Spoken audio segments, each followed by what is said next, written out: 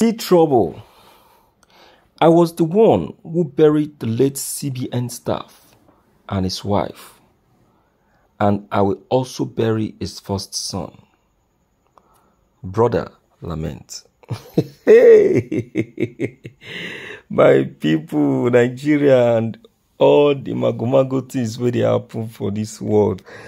Uh, nothing Nigerians no fit do, all in the name of uh, uh, uh, let it be, let it belong to me. You understand? Let it belong to me. It is only in Nigeria that I see that um, brothers uh, go after brothers. Brother fights his own brother. Brother kills his own brother, all because of one thing or the other. Uh, this is crazy. Anyway, if of a truth that this is what really happened.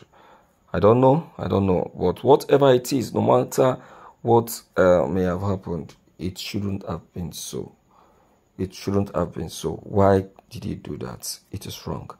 This very young man has come out to say it publicly without fear or favor that anyone can come and get him arrested, that he was the one who killed the late CBN staff and his wife and his brother.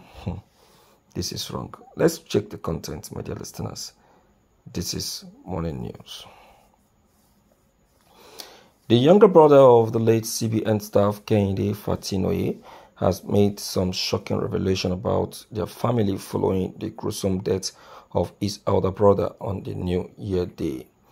Recall that Fatinoye and his wife was thrilled to their house after the New Year crossover service by their assassins, and they were burned to death. Why their house was also set on fire before the assassins went away with their son and maid. However, the younger brother of the deceased Kehinde Fatinoye, while speaking in an exclusive interview with the Punch newspaper, noted that there is no one left in their family because their father and mother had died a long time ago, and his brother and him were the only surviving family member. He further, he further noted that ever since they lost their parents, the elder brother has been the breadwinner of their lives. He was the one who caters for everything. In fact, he was the one who was also sponsoring his own children to school. But unfortunately for him, the assailant has taken away everything that he has. While speaking soberly about the recovery of the first son of the CBN staff who was found floating on a river in Ogun State after his hands were tied to the back and thrown into the river. The deceased brother said that it was the same person who buried the second son of the late CBN staff after slumped and died during a football match in school.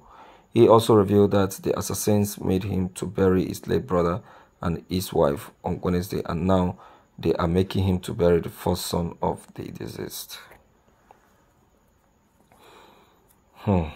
Okay it's not that he, he was the one who actually killed them okay well um the young man was trying to say that they killed his brother and made him to bury him. It was a very sad story. A very sad, sad story. Can you imagine? Someone taking food away from your mouth. Taking food away from your mouth is a very bad thing. You know? People doesn't like good thing. They don't like good thing. They don't like seeing people you know progressing they don't like seeing people doing good when they see that you are doing well they will you know boycott you and cut you off it's a very sad story so sorry, my young man.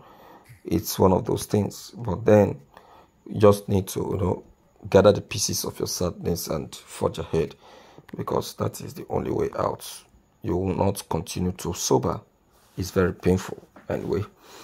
Um my people, you've heard it already from this very man. It's a very painful incident. This is what we experience in Nigeria, and um, it's happening. We don't pray that it happens again.